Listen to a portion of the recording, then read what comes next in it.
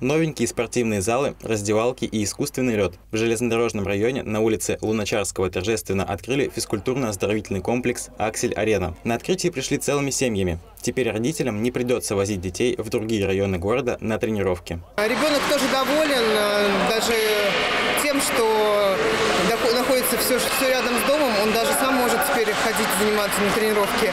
Вот, нам 9 лет, поэтому уже можно самостоятельно заниматься спортом.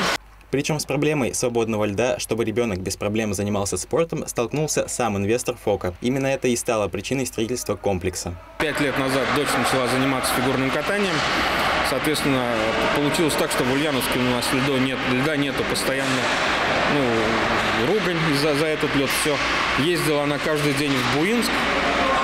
Соответственно, чтобы не ездила, я решил построить лед. Ну, за, ну, как бы будет заниматься дочь, заодно и все остальные. На открытие приехали олимпийские чемпионы Александр Карелин и Владислав Третьяк. Спортсмены провели автограф-сессию и пообщались с ребятами, а после отправились на экскурсию по спорткомплексу, осмотрели раздевалки, зал для борьбы, трибуны и другие места. Очень много трудностей было, начиная там с заливки самого поля бетоном, и заканчиваю уже, когда ледовая машина лед заливала. Ну, на трудности на каждом шагу. Лично для нас это первый опыт, но я думаю, не последний. Хоккей, фигурное катание, конькобежный спорт и даже борьба. Спортивные секции уже начали свою работу. Планируются и массовые катания. Илья Михно, Герман Баранов, Улправда ТВ.